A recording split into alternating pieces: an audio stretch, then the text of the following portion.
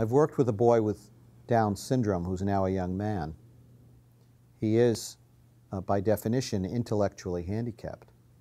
Yet, he travels on his own, he works competitively and earns money, he socializes. Uh, in the old way of looking at a boy like this or a young man like this, we would focus on his intellectual disability and fail to appreciate that despite his intellectual disability, he functions well in a number of areas. So the RSI is, is an appropriate tool regardless of diagnosis or symptom or etiology. Uh, and again, it is a tool that tells us what someone does in everyday life.